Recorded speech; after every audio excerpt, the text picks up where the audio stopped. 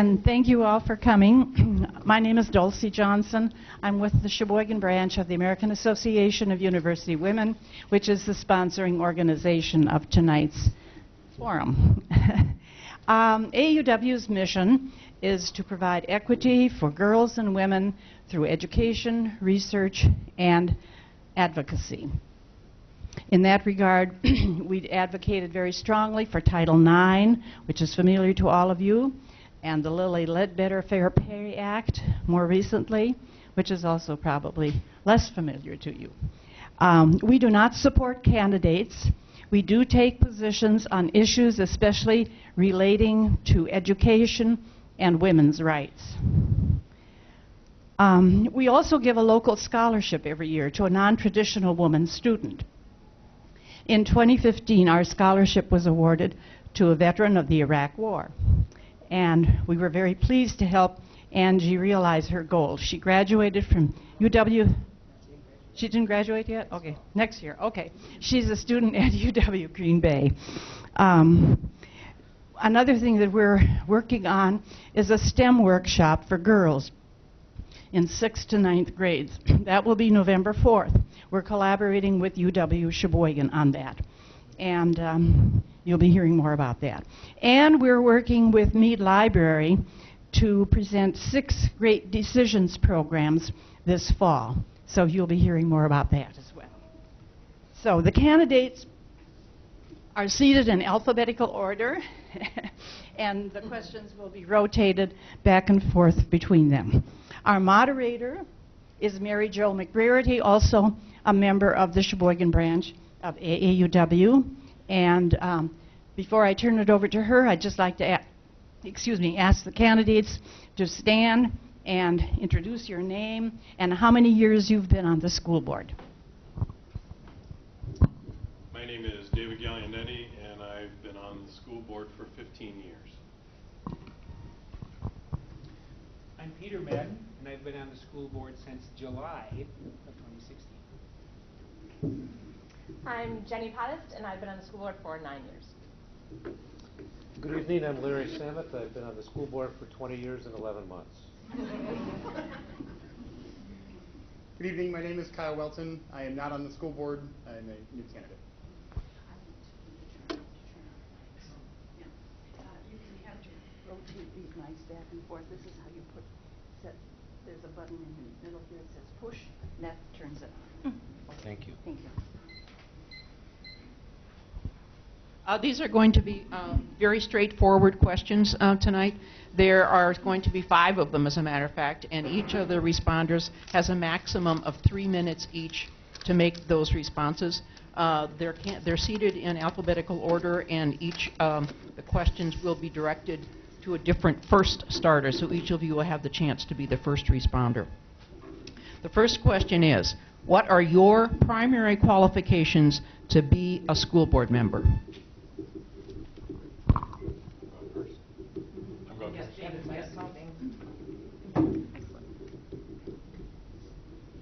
Can you hear me? Oh, thank you. Um, first, just quick thanks AAUW uh, for doing this, and, and thanks all of you for coming out and, and giving us a chance to, to hear us before the election in two weeks. Primary qualifications, um, I've been doing this for 15 years. Um, when I left work today, uh, my colleagues knew that I was um, coming to this forum tonight, and one of my friends said, Why do you keep doing that? and um, the answer is pretty simple, really. Um, when you get a chance to, to serve your community uh, in, in a pretty powerful way, um, you take advantage of it. And being part of the Sheboygan Area School District um, is a point of pride for me. Uh, I think our community has a lot of pride in our schools. Great schools are the foundation of any great community. Uh, my qualifications are that, that we, we've seen a lot of change in the last 15 years. Um, some of it, a, a lot of it positive, some of it not so great. Uh, we've dealt with mandates from and, and tremendous change from Madison. We've navigated through it. We work closely with our employee groups. We put our students first. Uh, so I think we have, uh, at least in my 15 years on the board, Uh, We've got a strong commitment to having strong public schools in our community. That's a commitment that I've got. Uh, Like I said, I think any uh, strong community has strong education as its based. We're blessed to have uh, a a school district that offers a lot of variety and a lot of choice. Uh, and that's something that our parents and that our students want, and they can find it in our district. We're also blessed uh, to have a lot of great parochial choices, and we have a strong homeschool network, and I think those are important as well. Uh, but, but when you talk about qualifications, I think it's the work that I've done. Uh, I think it's the position that the district is in. We passed a referendum this past November with more than 70% of the voters on the first try uh, saying yes, uh, that they were interested in investing their hard-earned dollars in, into what we're trying to do to help build up our school district. Uh, those are things that tell me that we're doing a good job, and I'd like to continue to do that job.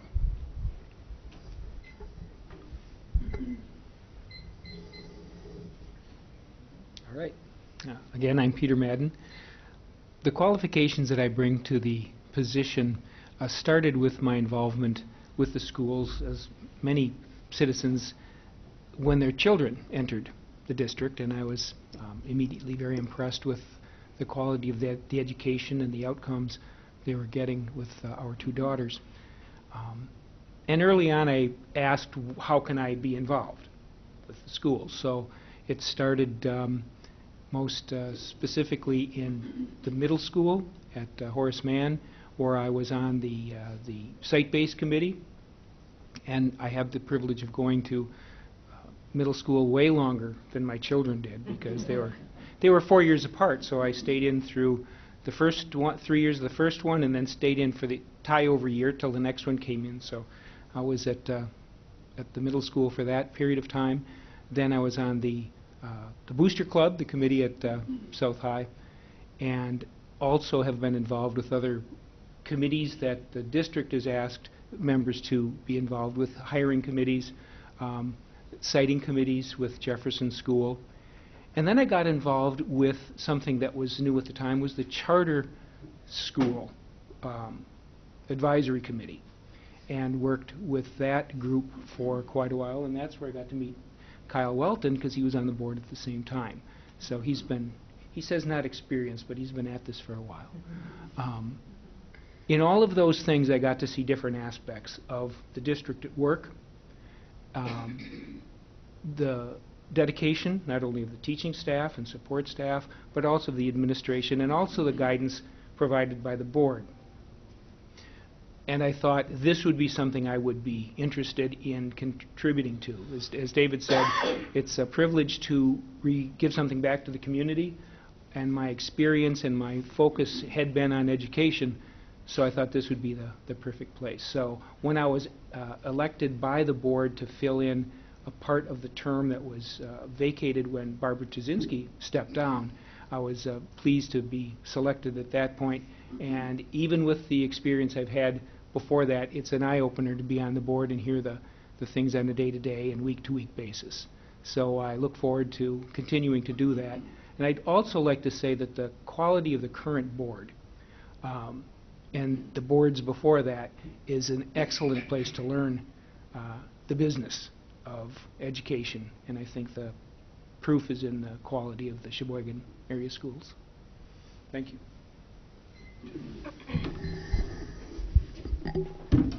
Hello. Um, once again, my name is Jenny Pottist, and as I said, I've been on the board for nine years. Uh, prior to that, uh, my husband and I moved here about 16 years ago, and um, I was, for the first time in my life, becoming a stay-at-home mom. I had been a teacher, and so having that experience, not having taught here in Sheboygan, um, and coming here, having kids, a lot of them, it felt like.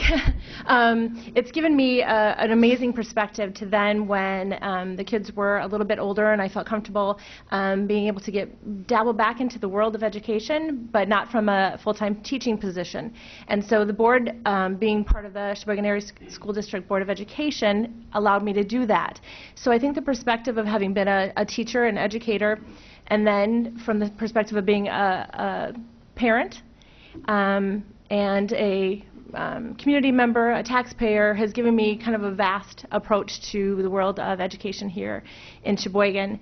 Um, I think I'm going to echo what David said. The nine years that I've had the pleasure of serving on the board, there has been a lot that our board, our community has gone through um, from a district perspective, and certainly from a budgetary standpoint, we have had to take a look at absolutely every area of our district and the things that were um, working and the things that we had to make some really tough decisions about. Um, obviously, had to, or we've had um, and put before the community and had passed a referendum. So now managing those monies. Um, Act 10, closing a school, um, vast teacher retirements. Um, they've been huge. And I think that has um, allowed me, and, and very quickly, uh, an education into what it takes to have that big picture approach for a school district um, and combining all of my different perspectives and how to best serve and support our community.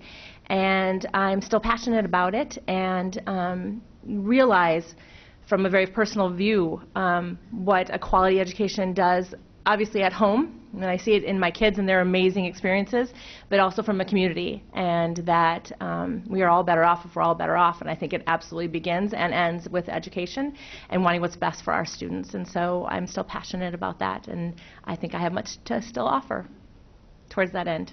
Thank you. Oops. Thank you again for the opportunity to be here.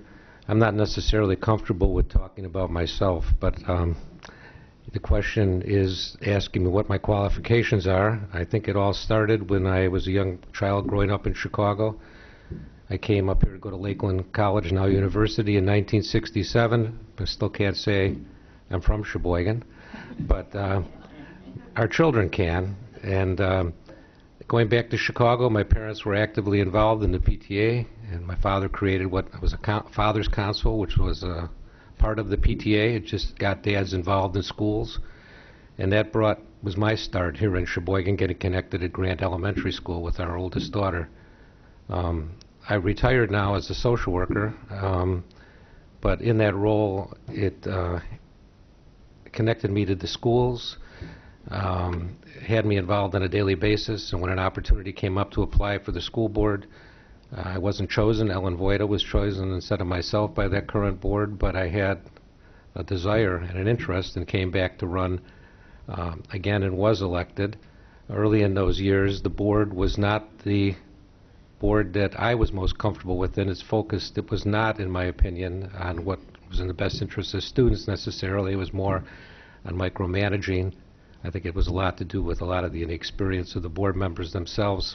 I think they had a passion and concern about students. I just don't think they had the experience of being board members. However, the board's changed over the years and got marvelous, and it's fantastic, and it, it's joyful to come every to meetings because each one of the board members has such unique strengths and qualities. It's amazing. And what's even more amazing about it through the process of discussion and deliberation is that we reach consensus. It's rare that you don't see a 9-0 vote on something, and there's been plenty of things to discuss. So it really, it really is, it, it's a great experience. But just briefly to speak about myself, I mentioned that I retired as the wraparound coordinator for Sheboygan County Health and Human Services Department. I founded Safe Harbor along with a few other people. I'm on Hearthstone board. I'm on the Camp Evergreen board. Um, I'm on the Police and Fire Commission in Sheboygan, um, and I'm on the Co- County Health and Human Services board. And I mention all those things because, one, I haven't retired, I have time for them. But, but more importantly, this is all about collaboration. And as we move forward, government entities and uh, agencies have to work together. If we don't, we can't get the job done. We can't do what's best for Sheboygan if we're not on the same page. And having these opportunities to be part of all these groups allows me to bring to the board those views, those opinions, and express them and helps us, I feel, factor in our decision making. So thank you very much for this opportunity.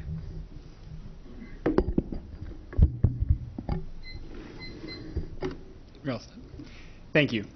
My name is Kyle Welton, uh, and the question of why am I qualified or what are my primary qualifications to be a school board member, I think it starts with my education in the Sheboygan Area School District. I was born and raised right here in Sheboygan, Wisconsin, the, the son of a pastor and a teacher.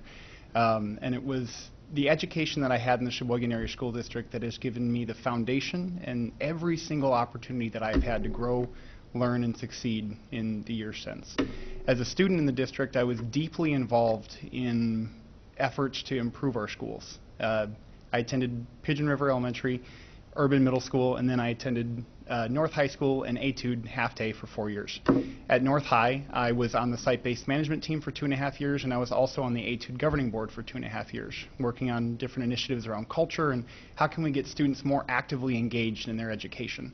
Um, I also served as the, the student rep to the board uh, when I was in high school. I went on to Marquette University, and at Marquette, I served as Speaker of the Student Senate, President of the student body, as well as graduating as valedictorian of my class. Um, at that time there, I also was the first student ever to serve on a provost search. It's the academic vice president, the number two of the university, working to bring in outside leaders to, to drive our mission forward. And so I after I graduated from Marquette, I went on to Madison and, and, worked at a company called Epic for about a year. But I came back to Sheboygan because I love this community. It's the place that gave me the opportunity to grow. It's where my family's from. It's, it's where I learned. And I was raised that when someone gives you an opportunity, you return the investment. And so coming back to Sheboygan, I now work at Acuity Insurance as a business systems analyst. But I'm also on the boards of Habitat for Humanity Lakeside, as well as the Wisconsin Recovery Community Organization, which seeks to help people recovering from heroin addiction.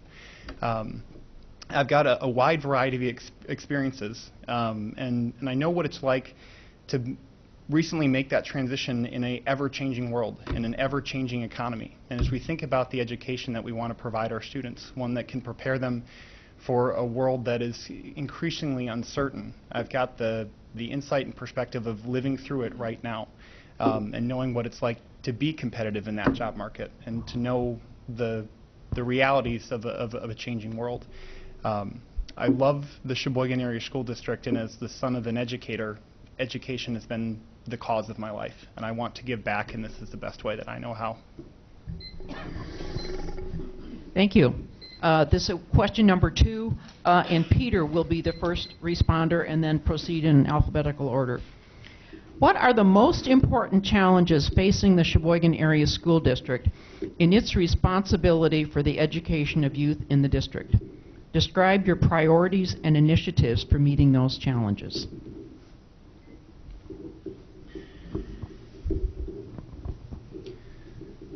I think the primary challenge is the complexity and variability that the teachers deal with in the classroom. The different realities that the students are bringing to the school each day and making sure that the teaching staff, the teachers, and the support staff have the tools they need to differentiate and serve all of those needs. Students bring a lot to the school, and some of it is in line with the educational mission, and some of them, some activities or, or um, things that they're dealing with might be barriers to education. And I think it's critical that that is recognized and managed. The way I think that's done is by continuing to support the professional development of the teaching staff and retaining the teaching staff. I think that's a challenge that many districts are facing, and I think it's critical that the district understand how to support, train, make the teaching staff feel valued so we can continue to deal with the challenges that the schools have. One of the things that you're hearing at the state, federal level, and certainly in Sheboygan is how to deal with issues such as mental health, how to uh, address homelessness, which is an issue in the district, how to deal with the things, all of the things, the package, the bundle of things that the students are bringing into the classroom, and the teachers still have to deal with the, um, the reality of getting through the curriculum and getting things done. I think that's the challenge that we have. How has the district dealt with that? One of the things that the board has done, and I think is, uh, is very helpful, is to set the goals that are needed for the administration, for the district, and then have them measurable and make sure that we're moving towards those goals. I think the other thing that the, the district has been very effective at has been building partnerships with the different agencies, different parts of the community, because this isn't something that has to be handled strictly by the school, it has to be handled by the community. The community has to um, come together with the district, with other agencies, with government, and um, that's the challenge we have, that we can weave together the kind of support and consortium that uh, supports the students with all they bring in, so we can graduate, uh, graduate them with uh, the kind of skills they need to go forward. Thank you. Thank you. Actually, I'll use this one. Thank you. Um, I think the biggest challenge facing our district is probably a timeless one, but I think the um, the environment in which we have to do it is probably the most challenging that it's been, and, and I think that priority is to um, prepare our students for life readiness. And I think that has many different um, ways in which that looks. I think, you know, like Peter alluded to, when those little bodies come into the school at the beginning of their educational career, at the beginning of the year, they um, come to us from all different uh, walks of life and family situations, and that's amazing and diverse and exactly as we want it to be, um, and with different strengths and different areas of opportunity. And I think in moving them forward through our district and through their educational path, um, them being able to realize their personal um, best and goals, um, social interactions are appropriate and how to be a successful part of a community, whether it be a learning community or, you know, someday a uh, world and local um, commerce community, and um, seeing them through then to whatever goals those are going to be, those, that's our challenge.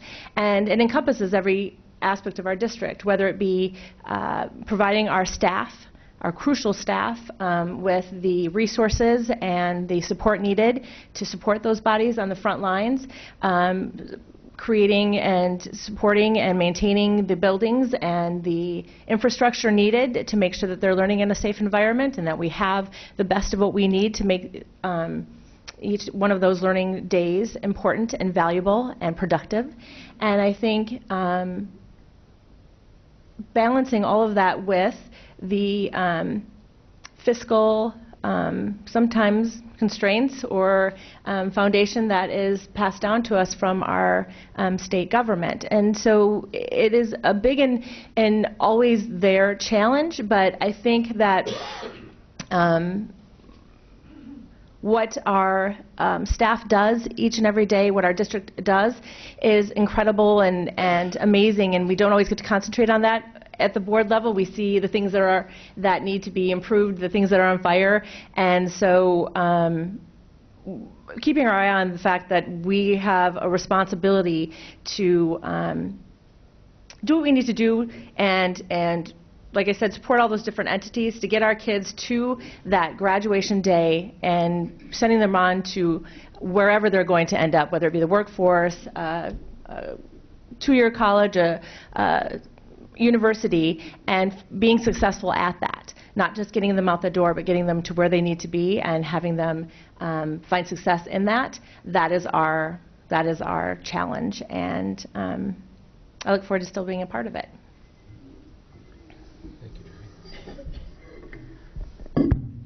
We have many challenges, but I think I'll try and put them into three that jump, jump really out at me, and I think all of us on the board mental health issues in this community are troubling us. They come at us from all different directions. They come at us from traumatic experiences that childs have in the home. They come at us through opiate issues. Other panel members have mentioned homelessness. They all impact the student when they start their day out with us, and our teachers are there on the front lines having to do this and trying to maintain um, the outstanding teaching that they have given our students over all these years that I know I've been on the board and continue to do. So the challenges I see in addition to mental health, and our board is working on that, and uh, we're moving in a very positive direction with training, services, looking how we can do this in this ever, these times of decreasing financial resources to be able to address a problem. And we know we, we can't necessarily do it with just the existing staff we have. So where are we going to find the dollars to even add additional staff? That's, that's problematic. Since Act 10, um, we've had to do this balancing act that's just amazing. And so every two years when the biennium budget is passed by the state, we don't know if our aid's going up or we don't know if our aid's going down or if we don't know our- if our aid's going to be flat.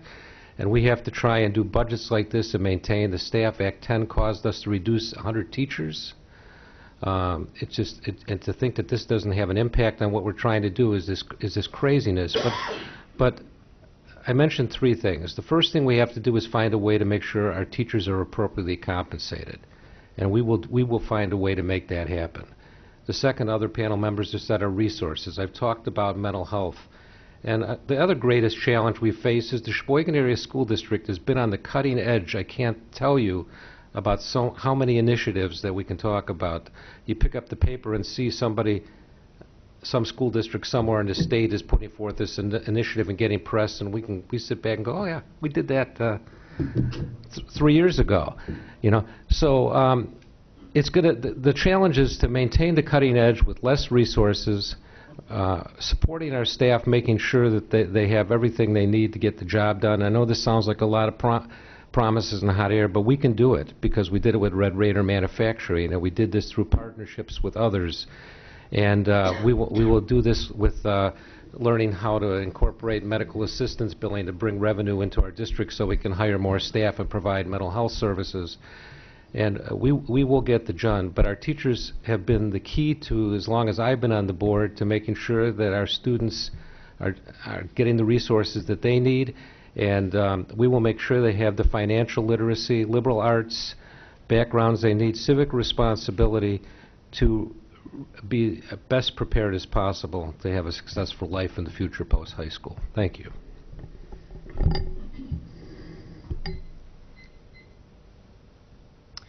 I think the greatest challenge facing the district, I think, is shared across public education, right? Especially in Wisconsin.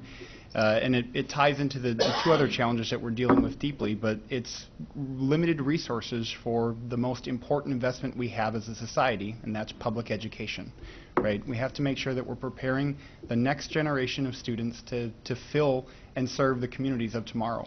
And so, um, you know, we've seen from the, the state legislatures, as other panel members have, have mentioned, right, over $600 million in K through 12 education has been reduced in the last um, six years. That's a, a dramatic reduction. We've seen 100 staff lines reduced in the Sheboygan Area School District to make sure that we're, we're there, but that has impact, right? We've got a class of high school English students at 35. Um, I, I can't imagine trying to teach 35 English students uh, William William Shakespeare, right?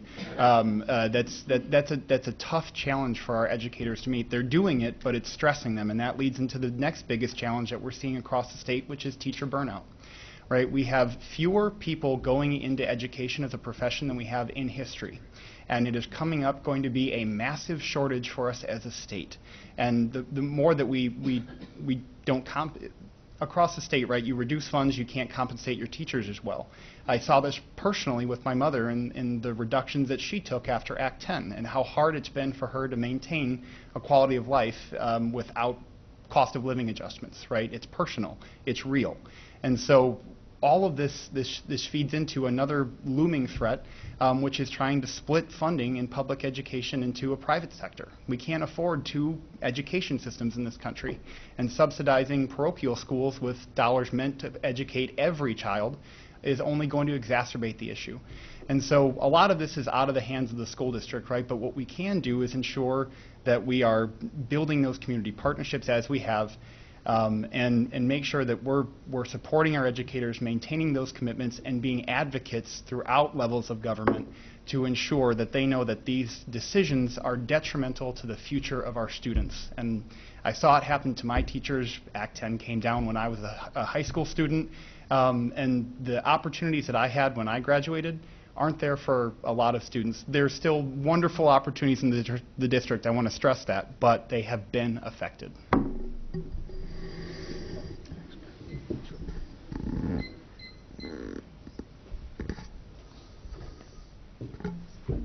Thank you. Um, one challenge that, that I'll mention that, that no one has yet is, is we have to find a new superintendent. Um, Dr. Soderberg said he wasn't interested in coming out of retirement, so we're still looking. Um, that, that you know that that search didn't work out um, with with a candidate that we were comfortable with, and, and we're going to continue looking, and we're going to find somebody. But that's that's a challenge that we face.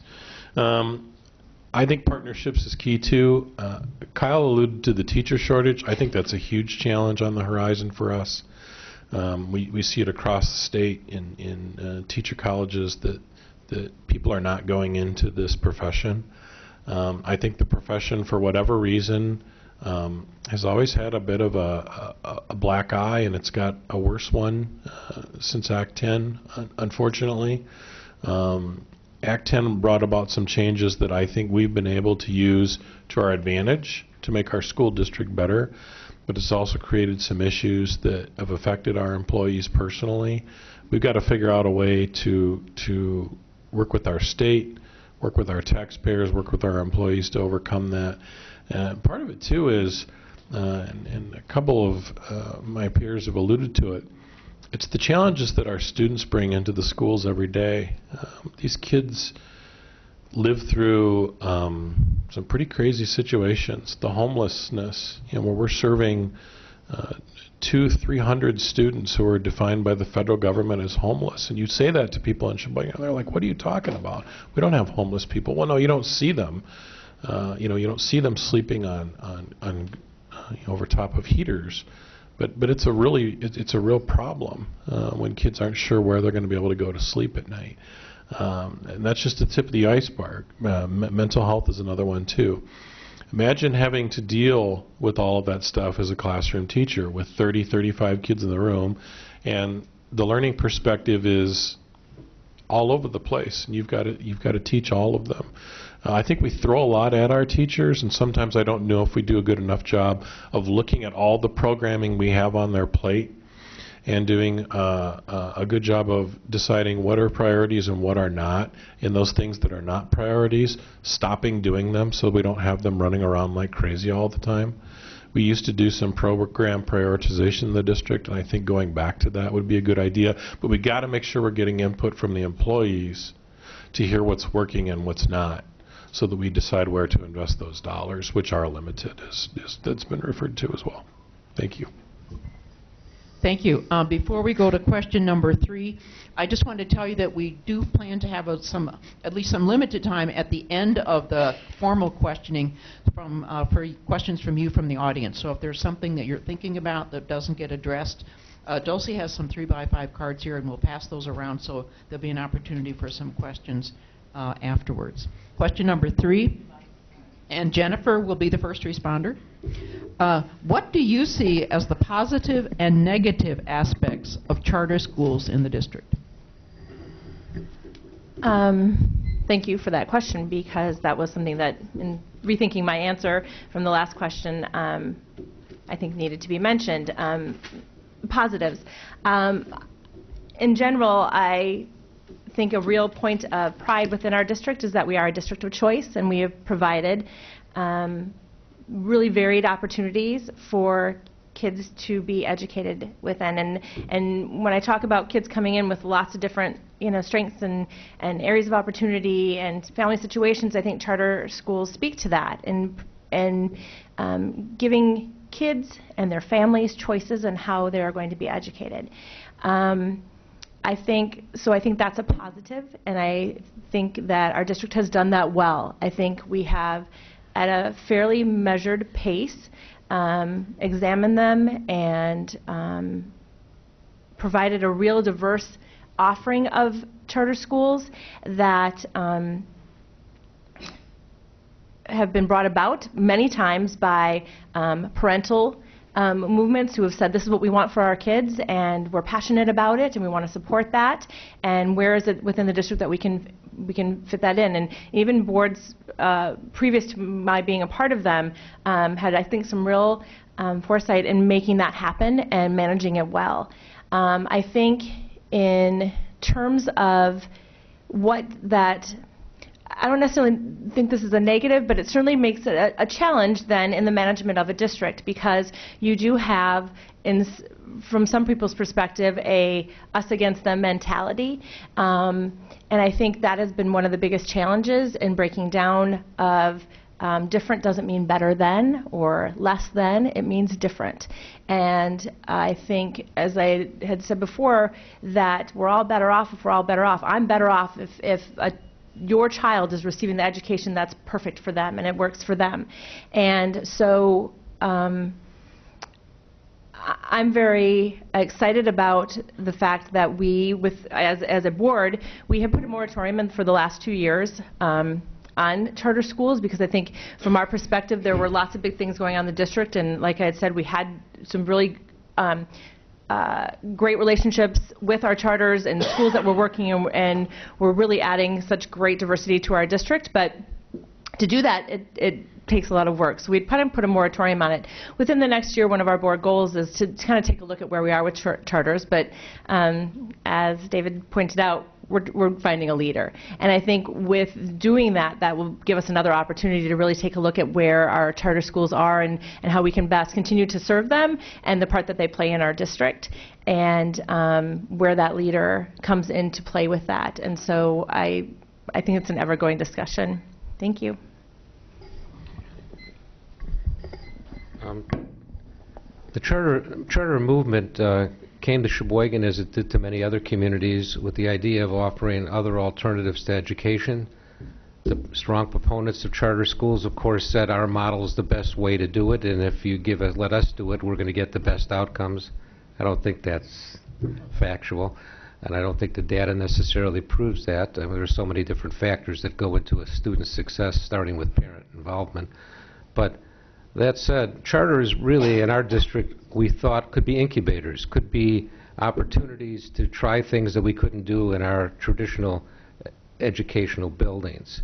And um, initially, charters got off to a pretty poor start because the model that the proponents of that charter school chose was um, was a model that I don't think was really current in educational uh, practices. And um, then you factor in personalities, and then you factor in misunderstandings, and you factor in fear and threats and all that, and um, it, it became qu- quite a controversial thing. But we got beyond that as a district. We talked through it. I think we recognized the importance of it. I think that we got to a point when St. Dominic's uh, wanted to join us and solicit us, that I think we were at a point at a board where we were comfortable with it, and there were enough board members who felt strongly to say, let's just give this a chance and see where it goes, and I think it's worked out beautifully. Leadership Academy is helping bring back that neighborhood right now, and um, students are moving, parents and students are actually moving into that neighborhood in order for their children to attend that school. I think uh, some of the negatives are uh, that I don't like the fact that charter schools are in the same building as a regular school. We had an incident at Grant, it didn't work well. I'm not saying that staffs uh, were plotted against it. I don't believe that for a moment. I just think that charters are unique in themselves, that they have certain freedoms and allow them to allocate resources in certain ways that our public skills can't. And I think the fact that when you see that and you're in the same building together, that breeds resentment. And I don't think that that's, and currently we have that going on at Pigeon River. I'm hoping it's working out well. I haven't heard that it hasn't. But I think that's the biggest negative of charters in our district is to try and have them in the same building. But um, overall, I think it's been a success. I'm glad there's a moratorium, and I'm glad we're a district of choice that gives parents opportunities. Uh, as many of the people I worked with have thanked us as a board for giving their kids opportunities where they may not have been successful in a traditional school setting. Thank you very much.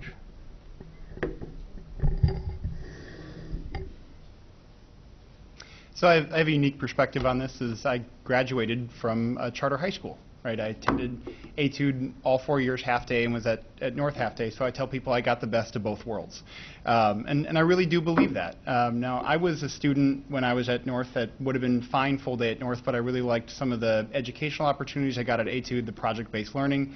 It it fit with me, and I was kind of an arch geek, and I still am, and so it, it made sense. Um, my sister Lindsay, on the other hand, really struggled her first year um, at, at North, and uh, my mom was looking at, at the opportunities and saw Etude and said that might really work well for Lindsay. And Lindsay's great, im- grades improved at North and at Etude the next year.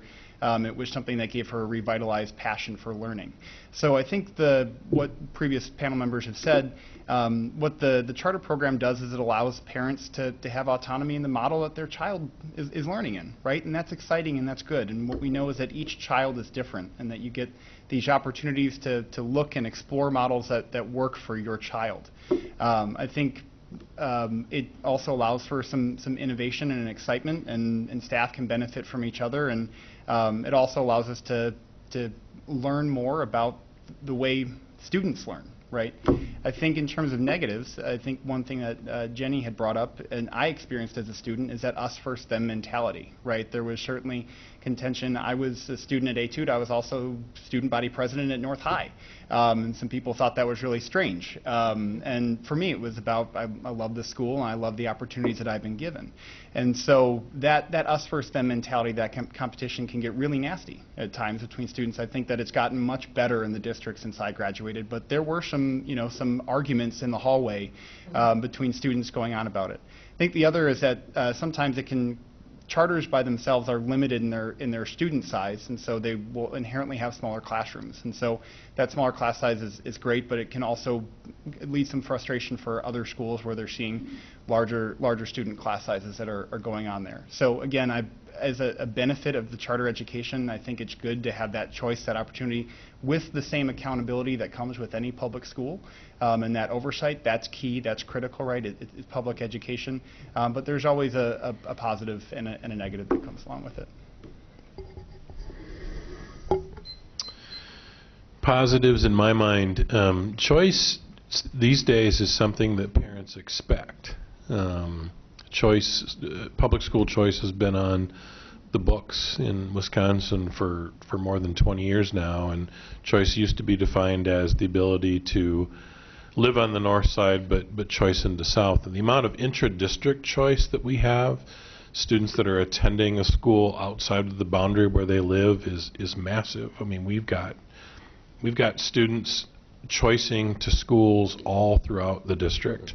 And it's sometimes based on, a lot of times it's based on convenience of dropping my kid off, picking them up for work, etc. But choice is something that, that parents expect is going to be there. So as a district, in my mind, we're obligated uh, to meet that choice. To the degree that we can do it through charters, all of our charters, and I think this is one of the biggest positives of our charters, all of our charters were grassroots efforts. They weren't top-down dictated administration saying, okay, we need five charter schools and these are the ones we want. No, these were groups of educators and parents who came forward and said, we've got an idea for a different approach. Not all the charters that have come forward to the board have been approved. A lot of them have. We've, we've put together a, a, a pretty rigorous um, plan, uh, uh, guidelines that you have to meet in order to get a charter school. We've alluded to the moratorium. We haven't gone through the process in quite a while. But there's a pretty rigorous uh, set of guidelines you have to meet. These parents and these teachers took it upon themselves to, to put together a, a plan for the respective schools that we've got. Um, some other people have mentioned it. We know that kids learn differently. And to the degree that we can offer programming, and we had people who were motivated to start programming that matches the needs of how some of those students learn, in my mind, that just makes our district better. Biggest negative, in my mind, is perception. We've had charters for how many years now, and we still have a lot of negative perceptions, I think, that are attached to our charters. They are public schools. They don't charge tuition. They have their own boards. They're under a contract we need to just continue to do a better job as a district. And I don't say the charters need to do a better job. We need to do a better job as a district because the charters are us. We're all we're all one big happy family. We've got to do a better job of educating our community about what the charters are and, and why they're an important part of our district and, and they make our district whole and successful.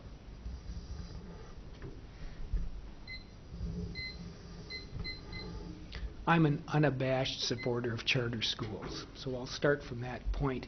But I want to take off from where David left off, and that is the public education to let people know what a charter is. Charter discussion of charters is in the news, it's all over the state, all over the country, and people have to understand what that means in Sheboygan, that a charter school of the Sheboygan Area School District is a public school.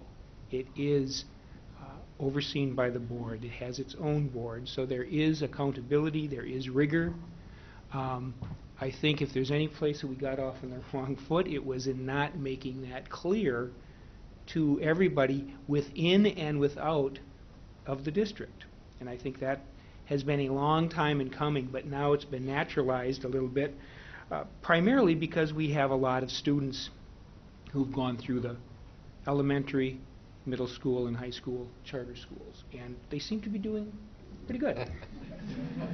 so, and I think that, that that's that's the proof in the pudding. So I think it's it's important for people to understand what they are, to not feel threatened by them. I mean, there's some very practical upsides to this district having charter schools and having the flexibility where people can move around, where students and families can choice into different schools. That helps us with facility management. That's not a small thing. You can put people where they want to go, and that helps us to balance out the resources. Um, schools are expensive. Running them is, is uh, uh, a challenge, and I think creativity and intelligence is a really good way to attack, attack that. The best thing about the charter schools has already been mentioned up here. It gives a variety of opportunities to students and their families for how they might want to learn. It also is a thing that helps us understand at a kind of incubator level how to go forward and do things. I think some of the mistakes that were perceived at the beginning of uh, the rollout of charters were the most beneficial things that happened because they said, why did that happen? We didn't expect that. Um, they're much more nimble than trying to move a big ship of a neighborhood school when you're saying that didn't come across at all the way we thought it would. Let's deal with it the fact that we improved to the point we are now and the acceptance we have now, I think is is proof that how charters can work. And I think they have done that. So the more the merrier. And I think one other thing, I think where the size of our district really helps us because we have the resources, we have the variety of, uh, of people and instructional capabilities that lets us really take advantage of the charter schools. And I'll stop right there. Thank you. Thank you. Uh, question number four. What are your views on Wisconsin's voucher programs and their future? How do you understand the effect of vouchers on state support for public education? Sorry, Larry, you got to go first. Okay. Um, I will tell you, uh, don't have to say a whole lot about vouchers because I'm totally opposed to vouchers. Um, Kyle mentioned it earlier. You can't have two educational systems in the state of Wisconsin. Expect, and if you're going to be crazy enough to suggest it, you better put money behind you. But to take uh, our aid has gone nowhere but south, and our aid has been reduced from about 46% down to 42%. And out of that 42% of the aid we get, they take the money for vouchers out of that 42%, so maybe we get, we maybe we net 36%. It's just doesn't make any sense. Um, I don't think that children necessarily get a better education uh, in those kind of environments. Uh, I don't think that uh, it's comparing apples to apples when they look at testing. I don't think they have to provide the same type of services from transportation to special education to other other opportunities for students that public schools have to do. The state is talking about increasing aid for uh, the schools this year, thank goodness. However, they're also talking about increasing aid for voucher schools. So that means that that's going to come out of our pot. So if they say we're going to get something, it's pr- we're probably not going to really get that. Um, I think we've grown accustomed to, to things like that and are fairly insulated. But I could never support vouchers in Sheboygan. I don't understand the concept. I think when parents make choices, and we talked earlier about parents making choices for charters, when parents make choices to send their kids to parochial schools, they're doing that for a particular reason.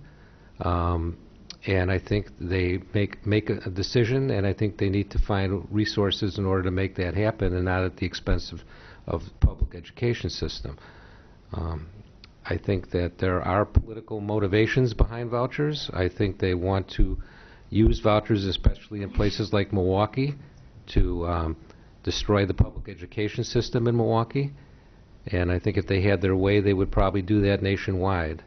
And I think uh, within the strengths of our legislative ability, we need to do everything possible to uh, prevent that from happening here. We're already impacted financially. Some of our students do, ch- do choose to attend uh, voucher schools, and our aid is reduced accordingly by that. Um, it's just not a good idea. There are so many ways to channel energy into improving education, and this isn't one of them. No, you're good. The greatest threat to current public education funding and future funding for public schools is voucher programs. Right? We just saw in Congress a couple weeks ago they introduced H.R. 610, which would turn Title I funding into a block grant for voucher schools in, in the states. Right? Would drastically affect uh, state schools all across Wisconsin. We've seen the, the want to increase voucher programs in the state of Wisconsin as well from, from Governor Walker um, and members of the, the state legislature.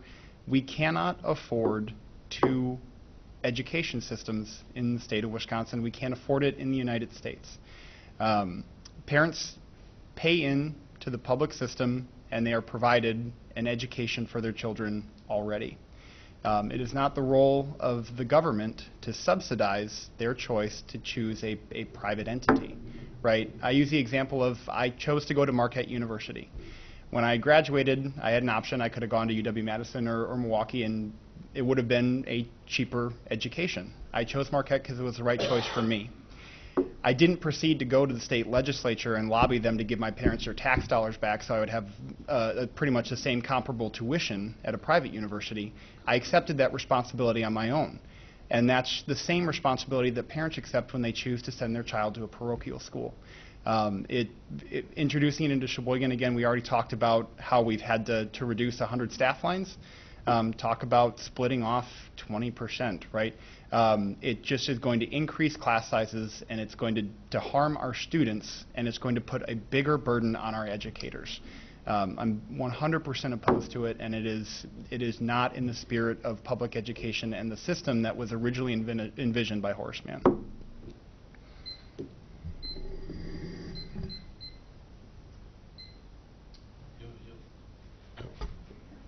We good? Okay. You'll get no argument from me. Um, there's a little over $440,000 that's levied in our community, local tax dollars, that gets sent to Madison as part of the voucher program. That's that's real money that comes from our community that goes to Madison that that is distributed through the voucher program. Um, it, to me, it's simple. If you're going to accept public tax money, you should have to serve all children. That's the expectation that, that that's on us, right? We we can't turn anyone away. We can't decide which students that we want to educate. Now, does that mean that all parochials and private schools are are selectively denying kids? Not necessarily. Frankly, um, a- a lot of private and parochial schools don't have the budgets to be able to serve the students that we do. Some of the special needs st- students that we serve who need one-to-one attention because of whatever variety of challenges that they've got. Um, it's tough educating kids today.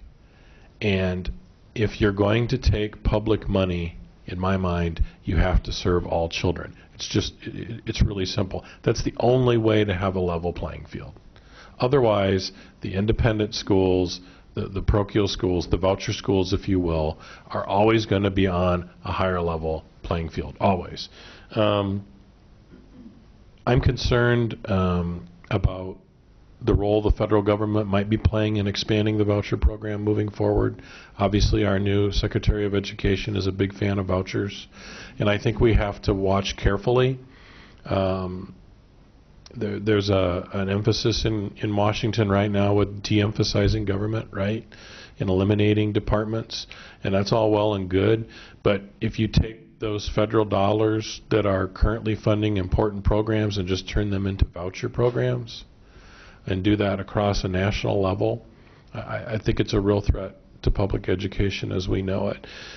MPS has a lot of problems, uh, and I have no doubt that there are some really gifted teachers there who are trying to work hard to work with those kids. But the sins of MPS are not the sins of all the public schools in Wisconsin. And I think we get sucked up into that sometimes. That it's easy to point to MPS and say, look at the terrible job those public schools are doing. It's not reality. Look at Sheboygan. Look at look at a, a lot of the other districts that are doing an amazing job and doing things like charters right. Those are the stories that we need to tell. Those are the things that we make, need to make sure that our lawmakers know, and you guys can help us.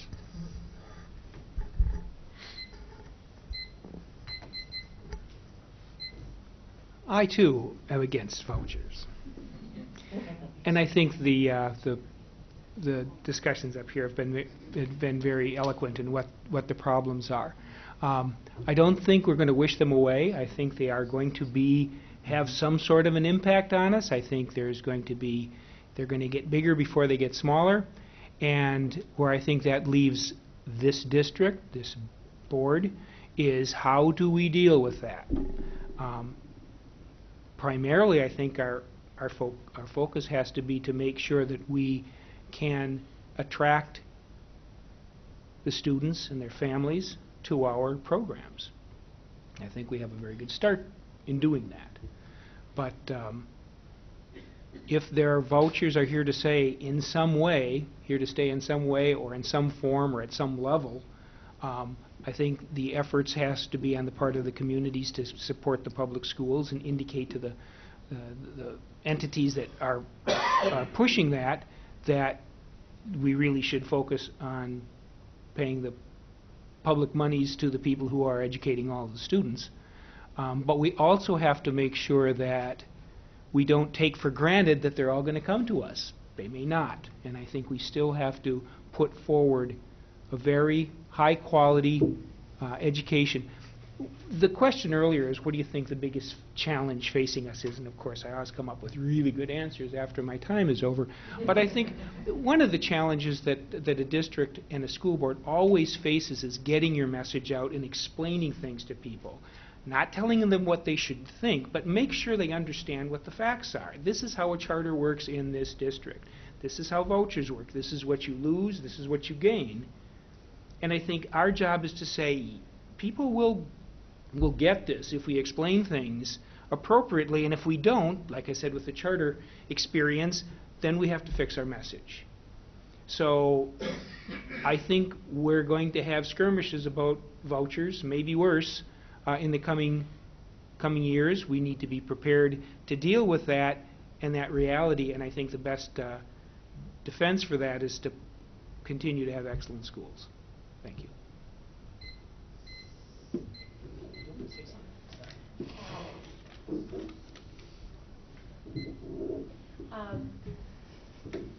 So the beauty of being the fifth speaker is um, basically what I like to say is ditto. Um, I think it's been incredibly well um, explained and um, addressed, and I think from being part of a school board and and um, having that big picture view from a district perspective, we have had the opportunity to see from the beginning of vouchers and how it has played a part here in Sheboygan um, and their impact. And so, as Peter said, you know, not necessarily our job to to um,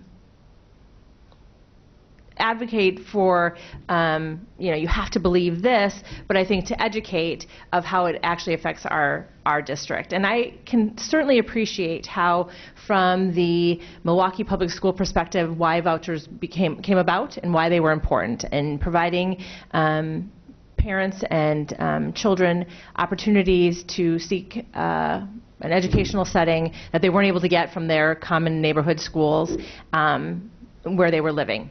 That makes sense. Um, in terms of Sheboygan, as we've said, we are a district of choice, and we've provided charter schools and uh, I think really, really amazing uh, neighborhood schools. The vouchers and the opportunity for families to, to use those monies to take their um, uh, state per pupil allotments and put them to a private school just doesn't make sense. And especially when we've seen, um, since vouchers have been applicable here in Sheboygan, um, vast numbers of those taking advantage of those voucher monies um, are families, students that are already attending private school. So it wasn't giving them a choice to leave a school that wasn't working for their family. It was using public dollars to pay for private education. And as you know, our um, panelists have said, uh, I don't think those were public monies needed to be used, and if a family does make that choice, that is up to them to, to finance and support that. Um, it is becoming a problem that, or a, an issue that, from a national level, with um, the new Secretary of Education, we are going to be having to face in a, a very real, um, very impactful way very soon. And I think um, that is a issue that um, advocating to our community and having them understand the ins and outs and the facts of it is incredibly important, but also our job as a board is to advocate to our um, state and local representatives and understanding the decisions they make at the state level and the impact that they have locally are um, incredibly important and they need to have all of those facts. So I think that's our biggest challenge too is making sure that we are advocating to those um, lawmakers and helping them make the best decision for our district. Thank you. Uh, And we're on to question number five, uh, and Kyle will be the first responder. What are your views on the Common Core curriculum? Yeah. So, um, I- Common Core is a touchy subject, uh, and I think Common Core came together with the best of intentions and had a rushed implementation that has drawn criticisms from both sides. Right. So, Common Core started with uh, initiative from the Governors Association, chaired by Janet Napolitano, um, and was lauded on both sides, right? Saying that we want to make sure that when a child graduates from a public school, whether it's in Tennessee or Massachusetts, that A or that grade point average means the same thing across state lines. We brought together reformers and, and education advocates and said, how do we, what does this look like? What does the, the curriculum look like? What do these standards all look like? And then when Common Core was adopted and put into place, it just so happened to coincide with the Great Recession.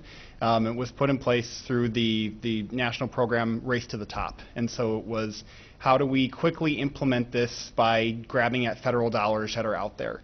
And so there was rushed implementation in a lot of states, and it's drawn criticism from uh, conservatives as being kind of an avenue for pushing a, a, liberal view of agenda, and from liberals as an avenue for more paperwork for teachers. And so um, uh, what I can say is I support the idea of making sure that we have standards across the board for children so that that education means the same thing when you go across state lines. It's important that we as a society value education and say these are the things we expect our generation next generation to know before they go into the workforce. I think the challenge has been is how do you manage that on a national scale and it comes down the level and you have teachers saying I'm spending more time filling out paperwork than I am producing lesson plans. And so um, I'm, I'm, a big proponent for local autonomy when it comes to curriculum, um, but also meeting national standards. So I'm not trying to be wishy-washy on this. What I'm saying is it's an incredibly complex issue. And again, I support having a, a, national standard and saying where our students need to be, but I think that the implementation was rushed and that it was done to, to grab at a large chunk of money at a time when everybody was wondering where funding is going to come from, um, and that's made it exceedingly difficult. So um, both that, and, and you hear similar things from, from education leaders on both sides in the state of Wisconsin. So again, I support that common standards for what our students should know. Um, and I think it's up to our educators in the community to come up and make sure that we have curriculum that meets those standards.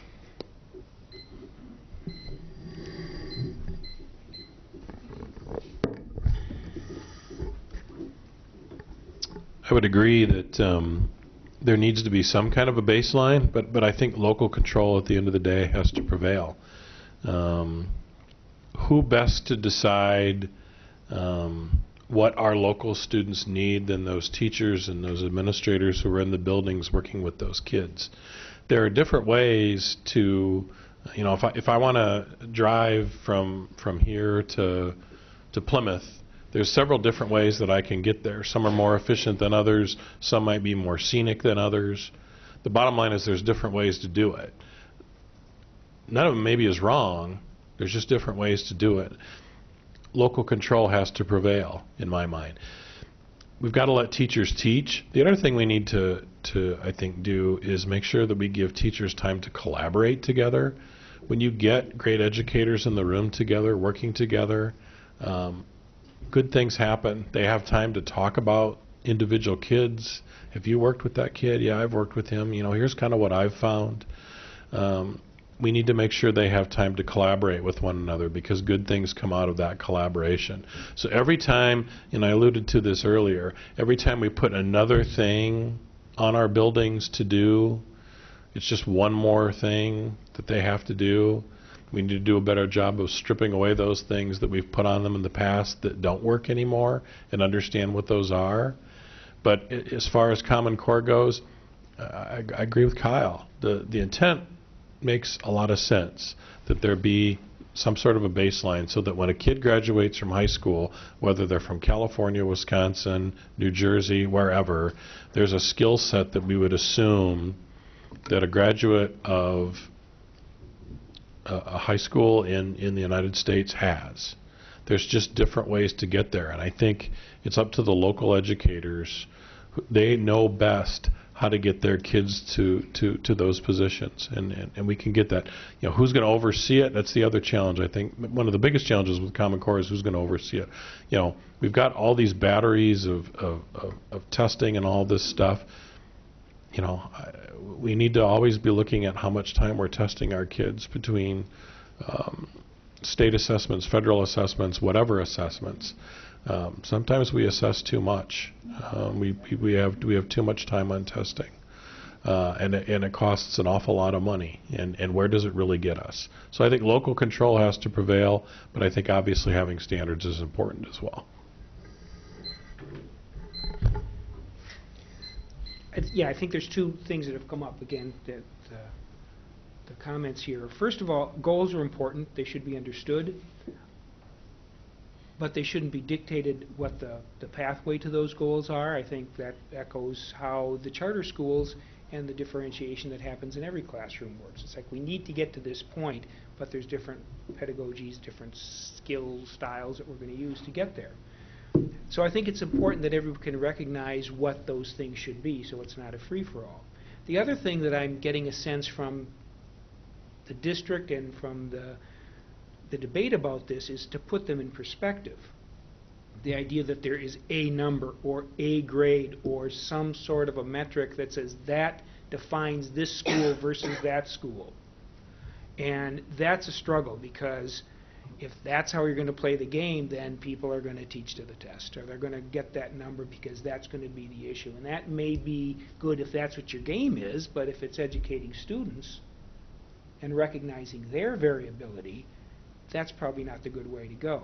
So I think this needs to recede a little bit from the foreground as the single yardstick of a school's success and be put in perspective with the other things, the improvement, how well are we handling the other challenges that uh, the students are, are bringing into the school.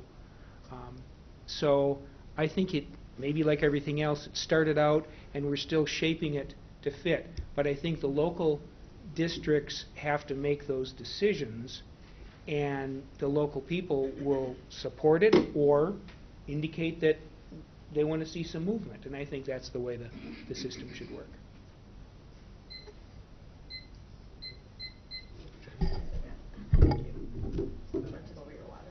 Sure you got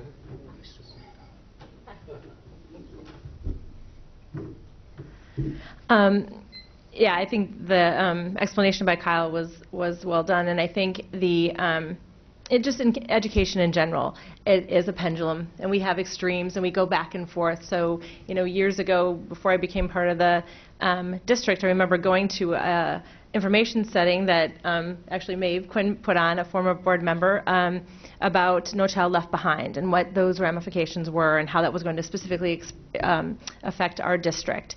And um, so, yes, as Kyle alluded to, the um, race to the top um, money is kind of we're replacing No Child Left Behind, and so what did that mean? And the idea behind Common Core, um, I completely understand, and there there was a need for that. I can I can appreciate that, but as he said, the, you know the timing um, certainly did not allow for the rollout to be as successful as it can be. Which can be the case for many things when it, you talk about an uh, original idea or an initiative and, and the actual implement, uh, implementation of that, it looks very, very different. Um, you know, from a, from a state level, it's our reality. So our state accepted those dollars, and so that is our reality. And I can appreciate now, from a, a teacher's perspective, there being some um, some real challenges with that, in that um, there is no uh, every day looks the same. There is no because this is what I'm teaching in fifth hour. It's going to look exactly the same in seventh hour because here's the deal. My kids in fifth hour are very, very different in seventh hour. And so when you're talking about conformity in education, it just doesn't exist. And so I think th- the pendulum on Common Core uh, will begin to swing back, and I think I have always had a uh, from the front lines trust in our local educators and their ability to um, do what's absolutely best for our students and every all of the challenges that they have.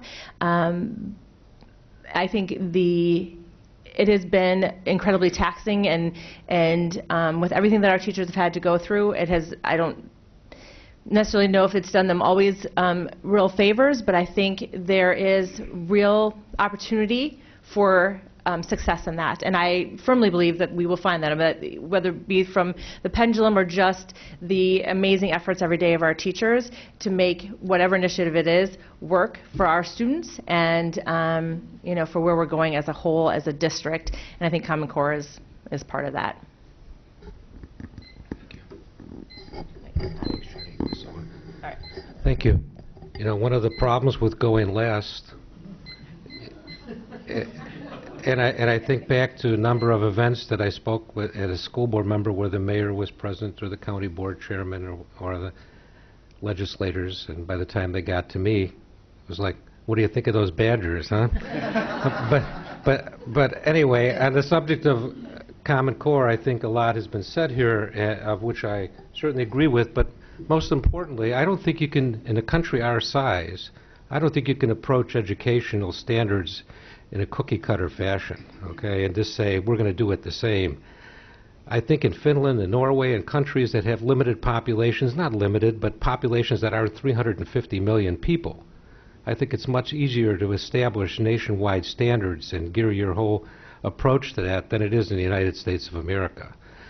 And um, I think what I really like what's happening here um, in in our district, we we developed academic career planning, and uh, under our superintendent's leadership and suggestion, the board accepted that whatever pathway a child chooses, the ACT requirements for that particular profession is where we need to channel our energies to make sure they're ready when they leave us to be able to to meet that guideline. And I think that independence in local curriculum and local control is really the way to go. Um, I, I think it's important to have testing, but we all know that testing is a snapshot of what's occurring on a particular day. And then let's factor in what did, did that child eat breakfast that morning? What was it like at that home when that child took that test? What if they have a learning deficit that we don't understand?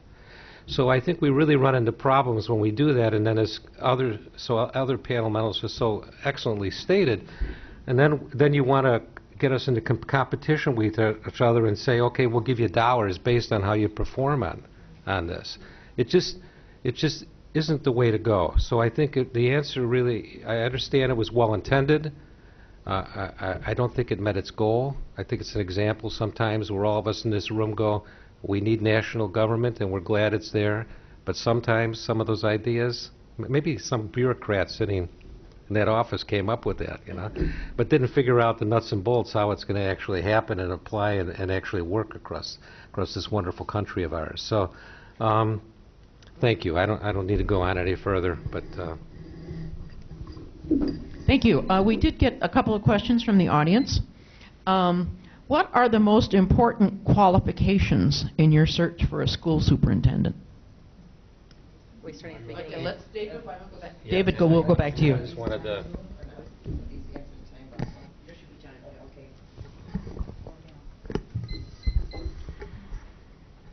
I think, uh, well, there's several that come to mind. Um, someone that can be the face of the school district, um, someone that um, is a visionary.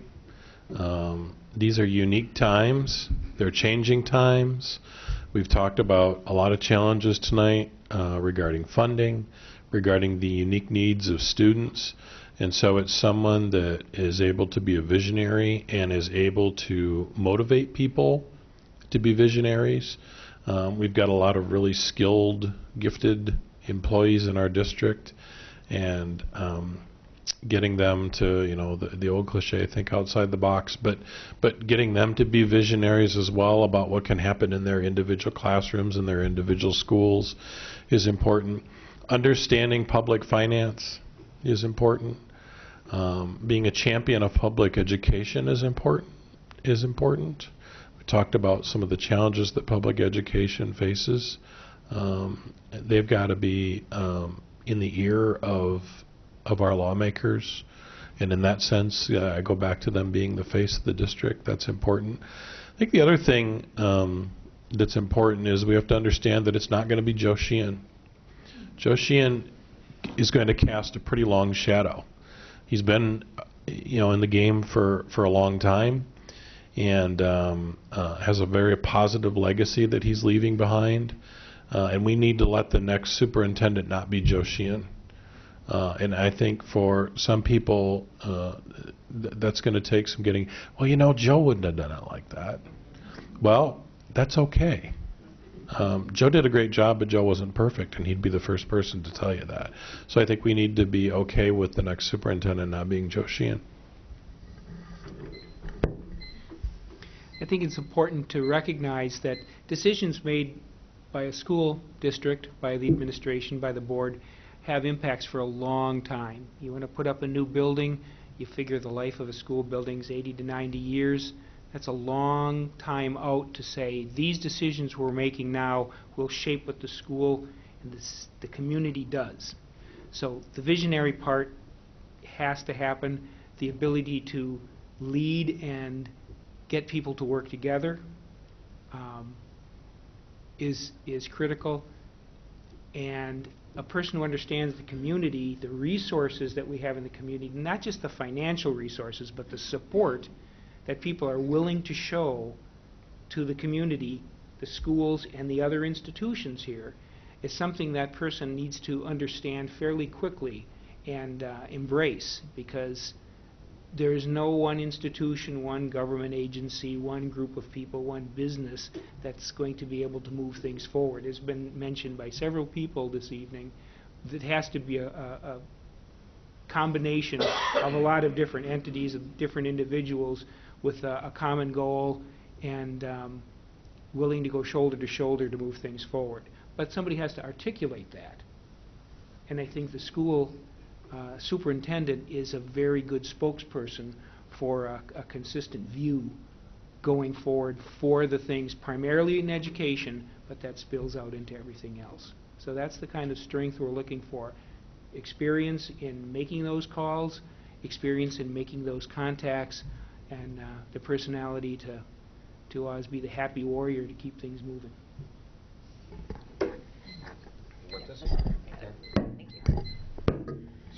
Um, I think first and foremost, um, we need someone who's going to be able to take this, um, you know, the 10th largest district in the state and be able to hit the ground running.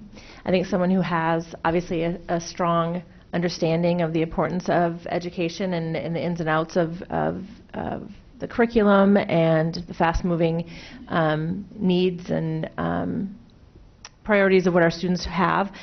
Obviously, someone that has an understanding of the financial aspect and the HR perspective of um, hiring and supporting good staff. I think, um, yeah, he has, he or she, she has to be um, an amazing um, advocate for education, but represent, representative of our district, whether it be within the community itself, but to the greater state um, and education world, and um, someone who, who has a firm grasp of that entire um, district um, goals and needs. I think one of the most important things that the superintendent that we are looking for needs to have is the ability to um, be a good listener, be open to uh, the very talented staff and support staff and EMT that we have, the board, but at the end of the day needs to be able to make a decision and to support it and to own it. Um, and I think that's a hard combination to find. Someone who has the ability to um, admit when they need uh, input, support, maybe they've made a mistake, um, but then the ego to be also able to um, lead and lead strongly. And I think, um, you know, we have been spoiled with um, Joe Sheehan. I think he's been a great superintendent, um, but I do believe that there are some amazing candidates out there, and our district is is this is a desirable district. I think people want to come and be a part of us because I think um, we've done a lot of things right and made a, a real impact on the state level of a, a district that um, values its teachers and um, expects the very best for our students and does what they need to do to make sure that is available. And so um, that starts and ends with our with our leader. And so um, I think our our quest for that leader is um, going to end successfully. Thank you. Well, the list is getting pretty long. Uh, But I don't, I agree with everything that was said. Um, I think Sheboygan is currently going through a renaissance right now. I think you look around and you see it's, we're operating on all cylinders. The Chamber is talking with the Economic Development Corporation. City, county, school districts are working together, whether it's laying fiber optic networks and doing it together to save costs. We're all, we're all on the same page, focused on what's best for Sheboygan. So certainly whoever our new superintendent has to be, has to be somebody who's quite comfortable working outside of the Sheboygan Area School District and open to partnering with everything else that makes Sheboygan. I think um, another opportunity would be if that individual came to Sheboygan and fell in love with Sheboygan. Said, this is where I want to raise my family, or if I have a family, or they've raised a family already, or he or she, um, that this is where they want to be. This is where they want to be. Uh, One of Jo- Joe's strongest capabilities, I think, is that he's very comfortable with himself and that he has a leadership style that is not afraid to make mistakes, that is not afraid to delegate, that when somebody goes out there and makes a decision and it doesn't work out wrong correctly, instead of focusing on the problem, he sits down and seeks a solution. He looks at people's strengths and builds from there. So in addition to all the other qualities that were mentioned here, I, I, I would like to put forth those. Uh, I do believe the candidate is out there, the right one. Um, and I agree with what David said. Uh, 16 years is a long time. You get real comfortable. Uh, and watching Joe grow from our um, head of hu- health of human services and become the person that he is is this an, a beautiful story to watch.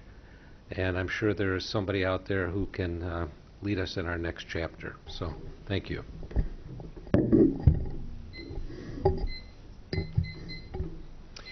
So, uh, as I mentioned earlier, I had the fortune of serving on the provost search at, at Marquette University, and it was a really incredible experience to be a student on an executive level search at a, at a high profile university. Um, uh, one, it was how do you seek consensus from the community that you're going to install somebody who's about to lead?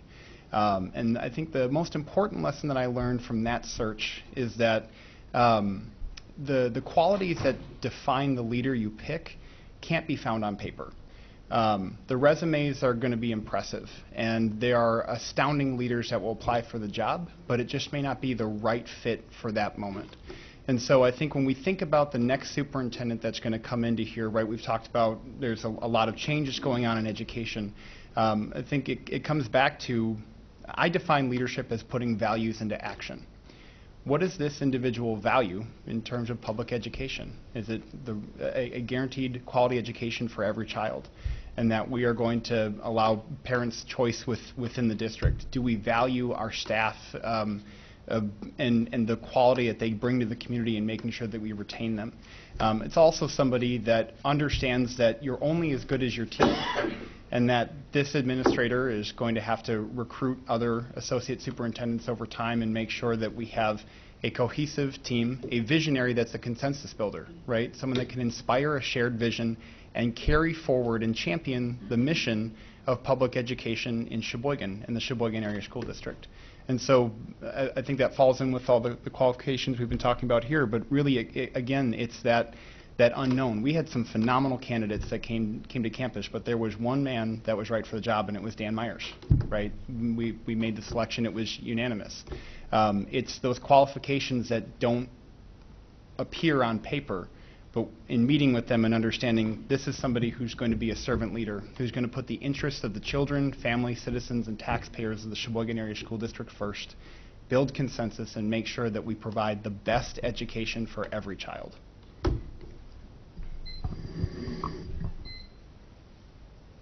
What role should the arts and music play in the curriculum requirements? And Peter, we'll start with you.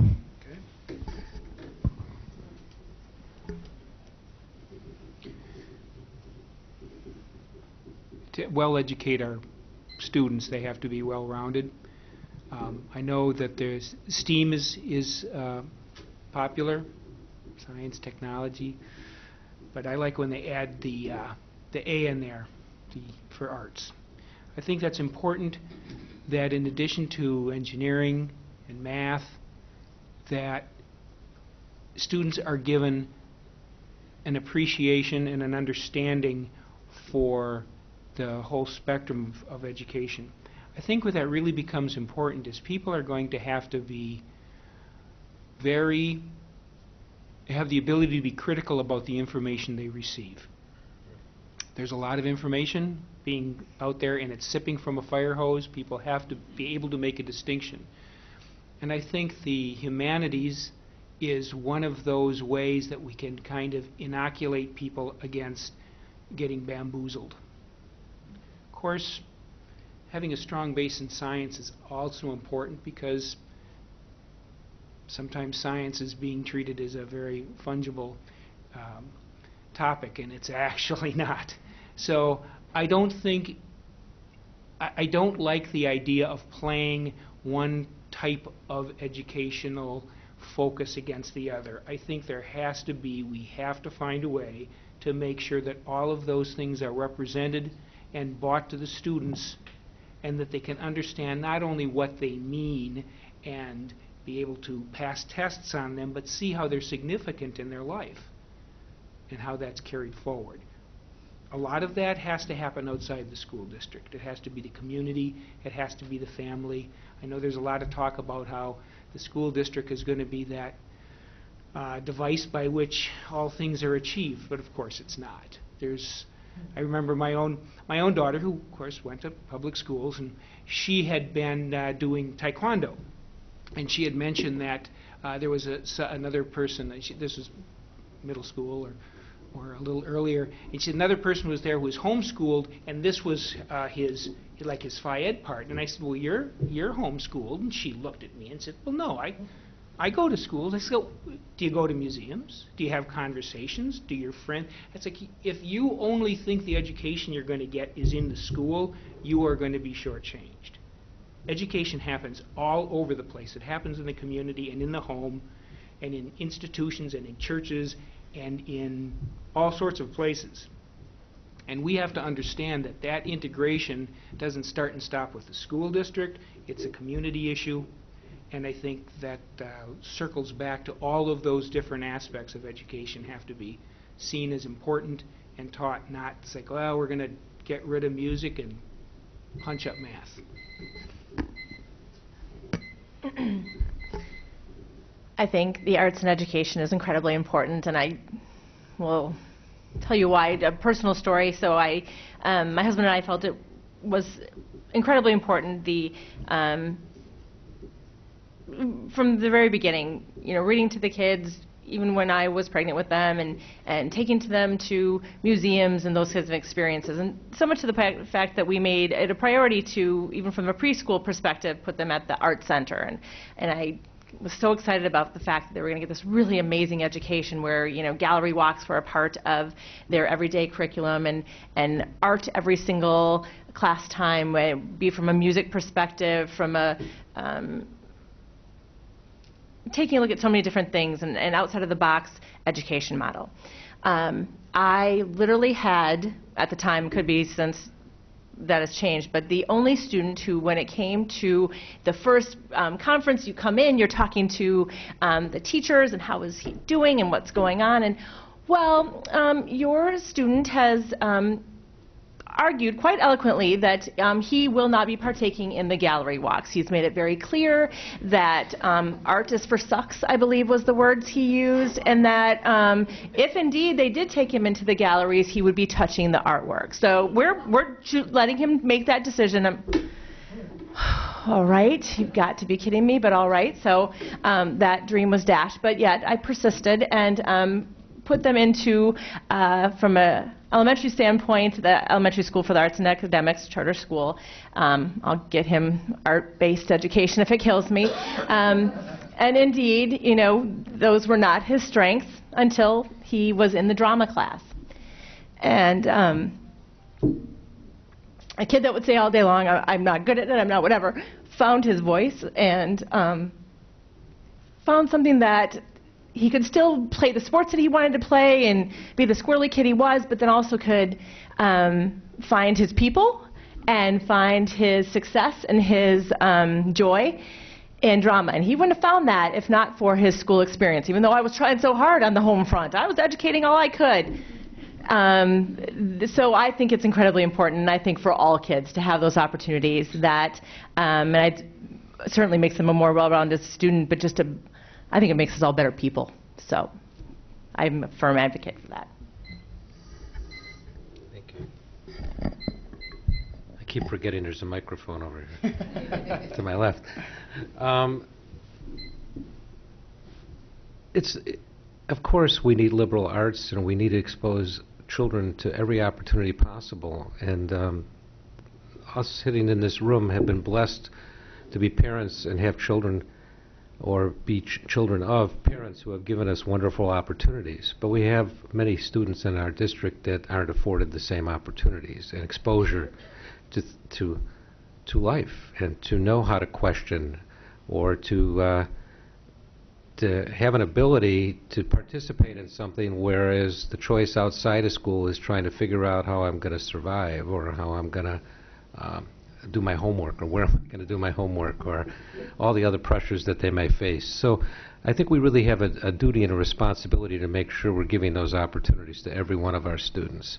It's not easy in these economic times, and we've been blessed with a partnership through the business community of coming to us and, and um, helping us create Red Raider Manufacturing, and that certainly gives students opportunities if they want to go to the world of work when they leave, if they just want to get a taste of it, if they want to get credits for technical college, or uh, they want to go to Lakeland or some other college, they'll be well prepared for it and they'll have an opportunity to do so. But that can't be the only way we prepare students. And so um, I think we have to take a look at how we're delivering services right now. Um, let's let's remove the hormone factor from middle school for a minute, uh, as we know how that that can impact students and learning. And, and but let's take a look at maybe our middle school model and how we deliver things and opportunities we create. I think more opportunities uh, exist within the high schools than they do, but perhaps at middle school uh, we can find a way to afford uh, different opportunities by doing some restructuring that don't necessarily require additional dollars that, as we've all said here, we don't we don't really have. Um, we, I think we have a responsibility to make sure that our students all have the soft skills. It's one thing to ask a question. It's another thing to know how to ask the question so that you don't get punched, okay? or, you, or, or you don't start World War II. Um, so uh, civic responsibility and financial responsibility are all other areas that we owe our students the opportunity to be the best they can be so that they're well prepared. So um, I echo what my peers at the table have said. We, we can't rest on our laurels. We've got work to do.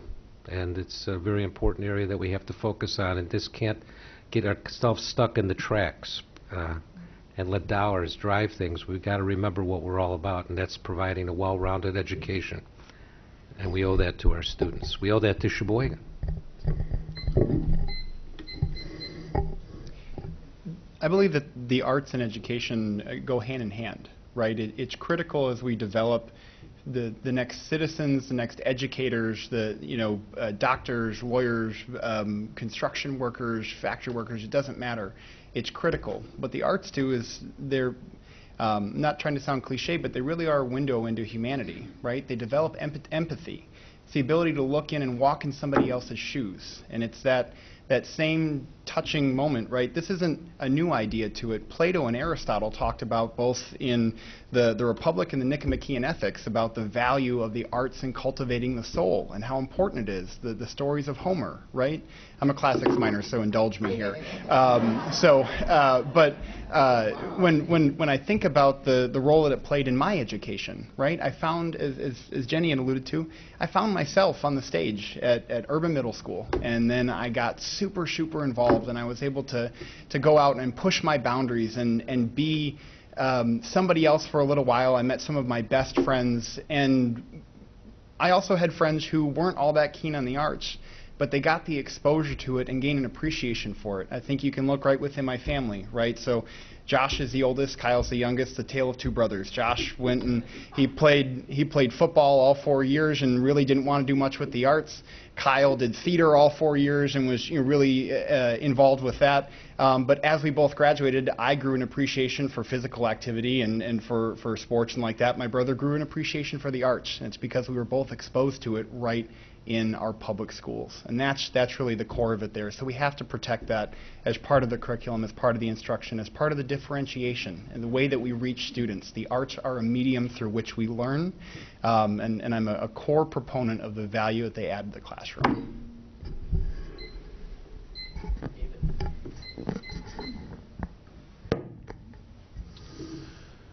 So the two uh, most influential high school teachers I had were Mrs. Heck and Mrs. Vasel. I grew up in central Illinois, a little high school of 132 students. There were 38 students in my graduating class. And Mrs. Heck was my English teacher, Mrs. Vasel was my music teacher. And Mrs. Vasel, I played the clarinet, didn't do it particularly well, but I was there. And um, she fed my music knowledge and um, she just kind of had this inkling. And so I would borrow her LPs. Remember LPs, right? Everybody in here remembers LPs. And so I would bring home Wagner's greatest hits. You know, she's feeding me classical music, Wagner's greatest hits, and I, you know, a little Beethoven, a little Bach, and what I developed as a result of borrowing these LPs was a real love for the Romantic era composers. So I'm, you know, 16, 17 years old, and I'm borrowing from the library the complete Mahler symphony cycle because I'm loving this stuff. The denser and the heavier it is, the more I'm into it, man. And I'm still all about it. I'm on the Sheboygan Symphony Board of Directors, and and you know, I, I love that stuff. And what I didn't realize at the time was she was feeding my musical interest and, and helping me tune into that, but she was doing so much more than that. She was feeding my creativity.